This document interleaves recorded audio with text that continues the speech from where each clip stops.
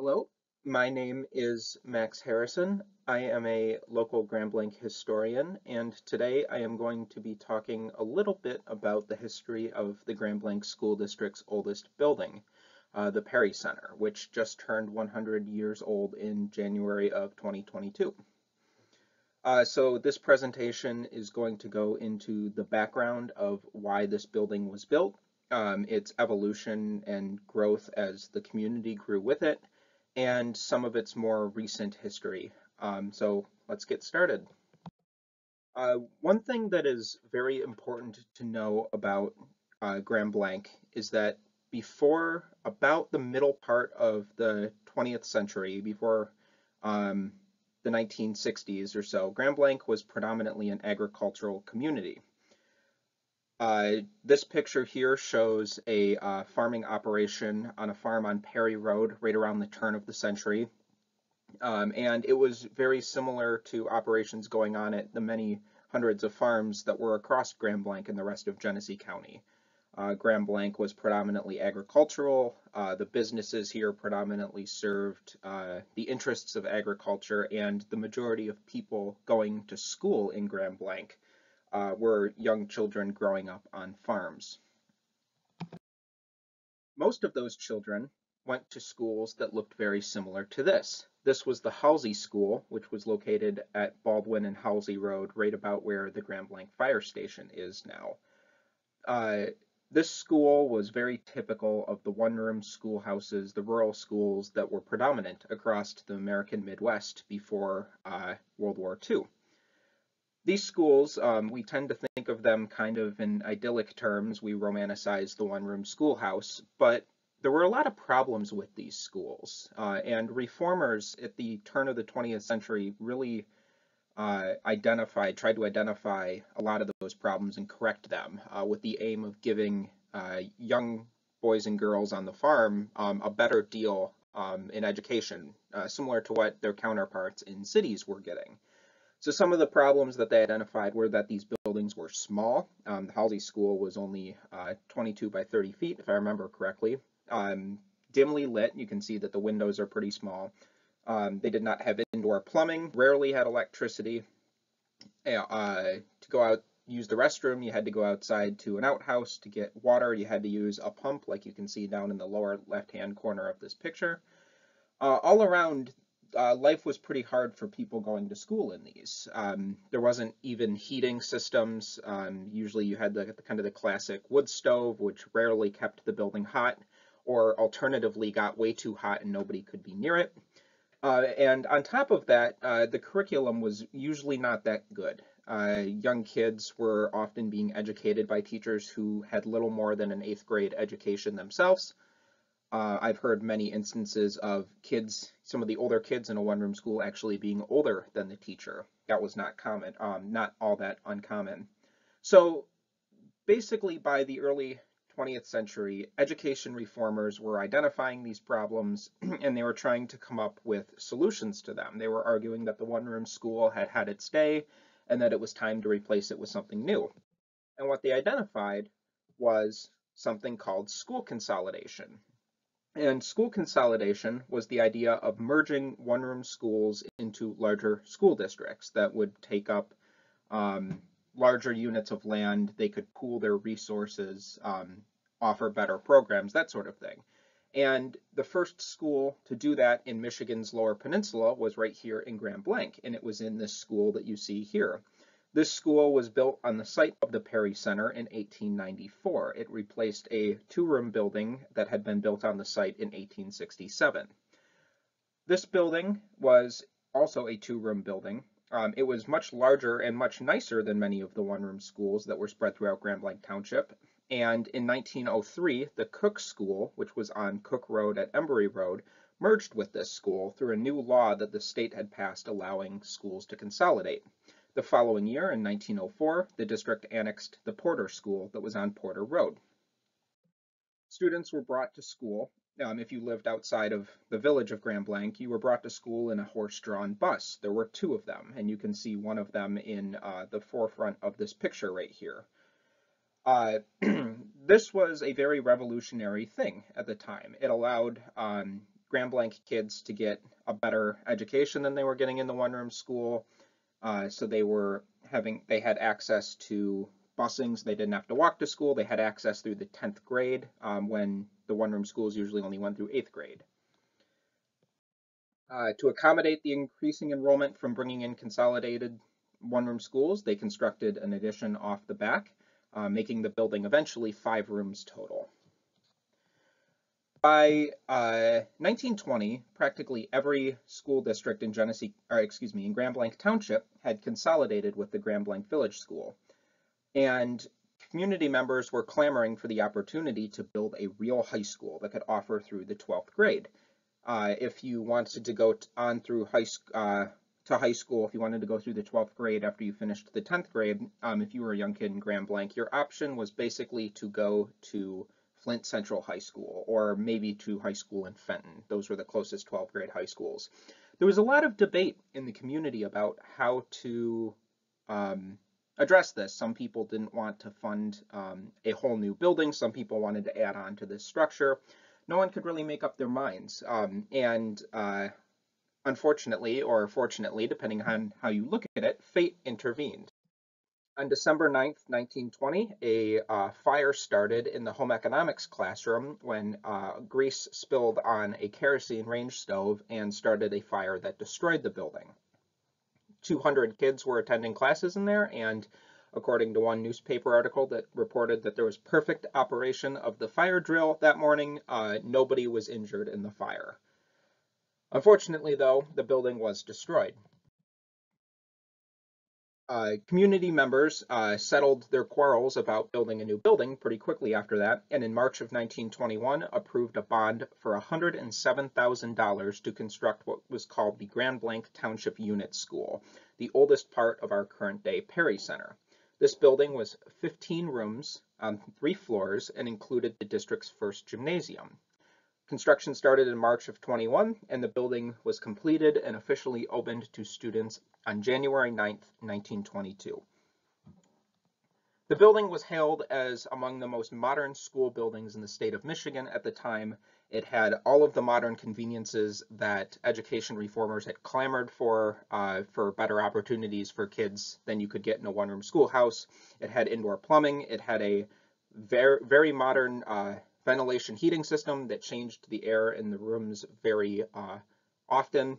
It included a gymnasium, it included a classroom for each of the first sixth grades, and crucially, it included space for a full high school through the 12th grade. Children were brought to school in motorized buses that were converted from Ford Model Ts. Uh, here are two of the first, er, er, the first buses here, uh, shown on a country road in Grand Blanc Township. In 1922, three students returned from Flint Central and became the first graduating class from Grand Blanc High School. Uh, from left to right, they are Ethel Tyler, Ernest Sommers, and Bernita Taylor. The three of them had attended school in Grand Blanc. They had grown up here, but because they did not have the option to go on locally, they went elsewhere. They went to Flint. uh, the first superintendent of the at the time, Glenn Wakefield, wrote them all letters encouraging them to come back uh, telling them that uh, Grand Blanc was going to establish a full high school, and they responded, and they came back, and they became our first graduating class.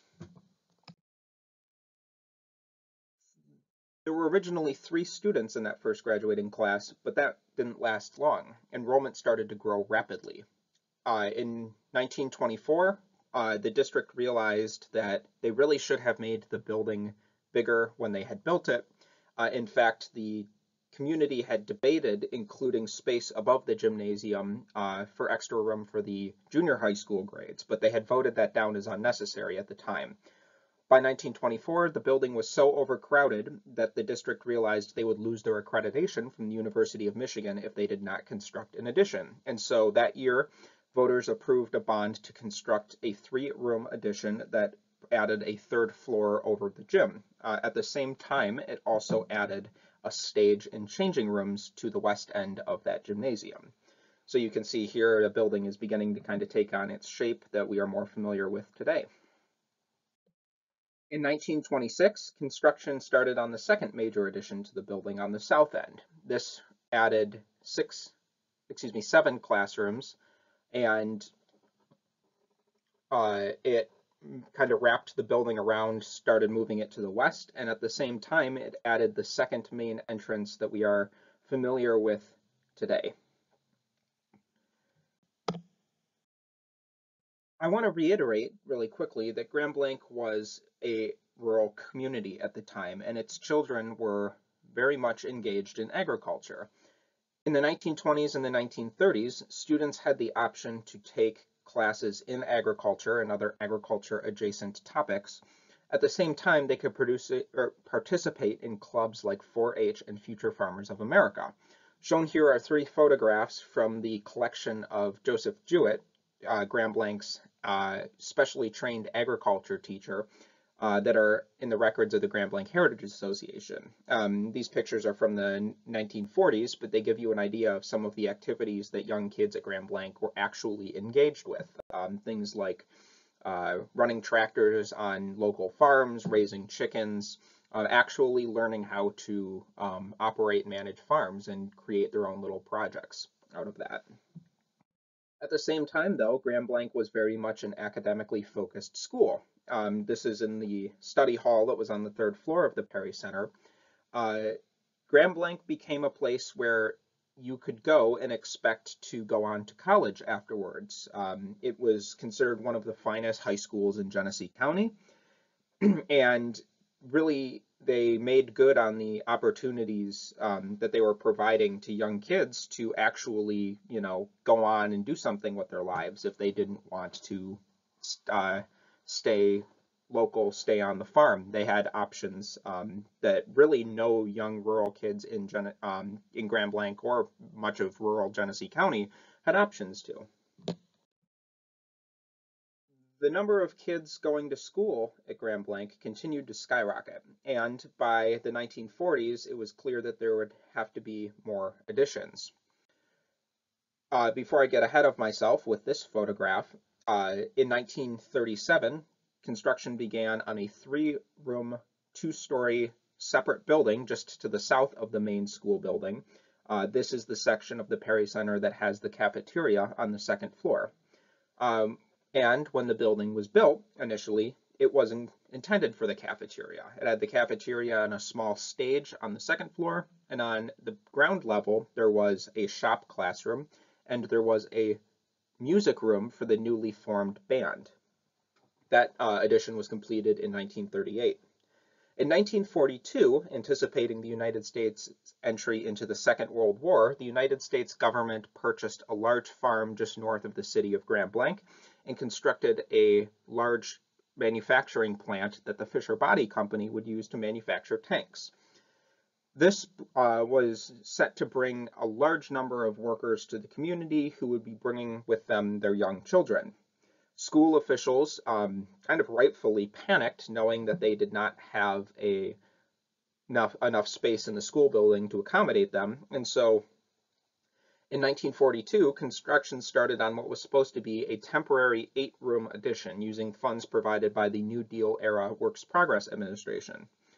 However, uh, and as the United States entered the war, uh, the WPA recalled uh, its contribution, stating that they needed the steel for the war effort. Uh, it took uh, Superintendent A.J. Brendel traveling out to the WPA offices in Chicago to plead his case for them to relent, and the WPA allowed for uh, basically half the materials um, that they had originally asked for. So the school district was able to complete a four-room temporary addition that they named the Annex.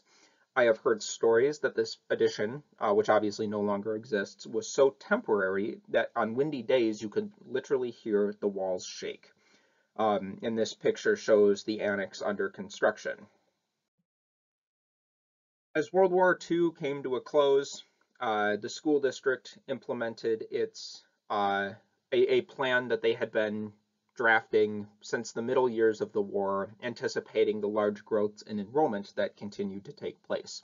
They called it the post-war building program. Um, and so here you can see a view of the, the school building looking kind of northeast, um, and it shows many of the additions that were added on um, in the post-war period. Uh, The first one was to the western end of the cafeteria building. In 1946, uh, the school district added six classrooms on the west end of that. Um, this is the area that is today part of the Board of Education meeting areas and the Vicky Weiss Innovation Lab on the upper floor. In 1949, the district tore down the annex and replaced it with an eight-room, three-story proper permanent addition that you can see kind of in the center of this photograph. Uh, this addition included a new entrance to the building facing the north. It is the part of the, um, it's the entrance where we typically enter the building today.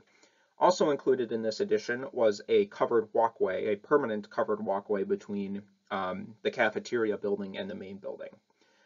Uh, in 1950, anticipating um, the fact that the original boiler system from 1921 was overtaxed by all of these additions, uh, they expanded the boiler room out into the little courtyard formed by the building, and they constructed a large smokestack. That smoke, uh, the smokestack that stood until um, the summer of 2021. Finally, in 1951, construction started on the final major addition to the building, uh, this was a six classroom addition on the west end that included a large new gymnasium. Uh, here you can see that addition under construction. And then here is the gymnasium upon its completion. Uh, that addition opened in 19, 1952, uh, excuse me. Uh, and when it did, it was one of the points, a major point of pride for the district. It was uh, considered one of the finest high school gymnasiums in the state for that time. Um, it allowed the district to host uh, high school playoff competitions and things of that nature. But still, even with all of these additions, the district knew, perhaps rightfully knew by that point, that they could not expand the original building forever, and that at some point soon they would need to start constructing new buildings. In 1954, this became a reality uh, as the district broke ground on its first independent standalone school building in over 30 years. Uh, shown here is the Grand Blanc Board of Education along with the architects and general contractors for um, the, this new school building. Turning the shovel over is Board of Education President Paul McGrath. On the far left is Anthony J. Brendel, A.J. Brendel, um, and next to him is Howard Pepper, who was the principal of Grand Blanc High School for 30 years. Uh, as um, this building was constructed, the school board named the building for Paul McGrath in recognition of his many contributions to the community, um, including serving on the school board for many decades. The Paul, the Paul McGrath School, shown in the top of this photograph, opened in 1955. In 1956, construction began on a second building, elementary building, shown in the bottom left here, uh, on a plot of farmland donated by the Myers family. Uh, Faye Morris and Kenneth Myers, all different generations of the Myers family, had served on the Grand Blanc Board of Education at one time or another since the 1920s. And in recognition both of their donation of the land and of their long service to the school district, the school board named the building Myers Elementary School. Finally, in 1959, the district began construction on an elementary school just to the west of the main school building up the hill um, on the other side of the football field. And this building opened in January of 1960 and was named for uh, the longtime superintendent of the Grand Blanc School District, uh, Anthony J. Brendel, A.J. Brendel. At this point, uh, in January of 1960, the remaining elementary kids at the school, uh, the main building, came back from their winter break. They gathered up their books from their classrooms and other supplies, and they literally carried them up the hill and started class in Brendel. This marked the end of elementary uh, education at uh, the Grand Blanc Township Unit School for some time. Uh, the next to go was the high school. In 1962, construction started on a multi-million dollar massive high school facility in the uh, former farm just to the south of the original building. This was construct, uh, completed construction in 1963, um, and the building was dedicated to Howard Pepper, the longtime principal of Grand Blanc High School. That moved the uh, that moved the high school out of the building. This left just the junior high facility. Uh, for a couple of years, the building was just called Grand Blanc Junior High School until 1967 when the continuously growing enrollment necessitated converting McGrath into a second junior high school. In recognition of uh, a longtime school board member um, and Flint banker named Ezra Perry, uh, the district renamed the original school building after him in 1967. Uh, to conclude very briefly, uh, some more recent history on the building.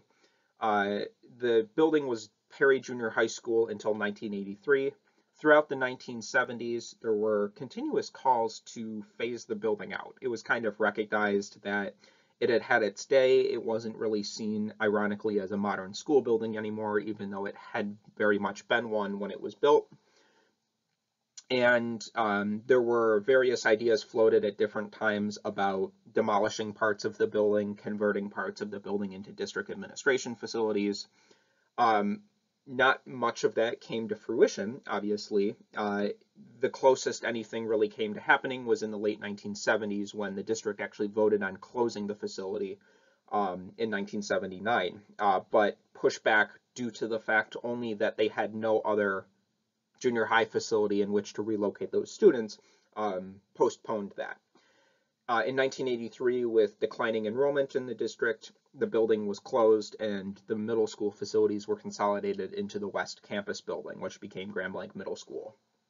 More recently, um, in the 1990s, uh, parts of the building which had been mothballed were reopened for overflow high school facilities. Um, they used the gymnasium for freshman and JV sports. Um, they used the old shop room as a uh, the district's print shop, which it still is today. And then in the mid 1990s, um, a teacher named Vicki Weiss and a handful of other teachers began um, what what came to be known as City School, a, a small magnet elementary school program uh, in part of the building, which really helped reopen it um, and uh, get it kind of to what we know of it as today. So uh, this has been a brief, um, just a brief overview of the history of this building. There's obviously quite a bit more um, in depth that we can go with this. Um, and I invite you to um, visit the Grand Blanc Heritage Museum uh, if you are interested in learning more about this building. Um, and thank you very much for listening.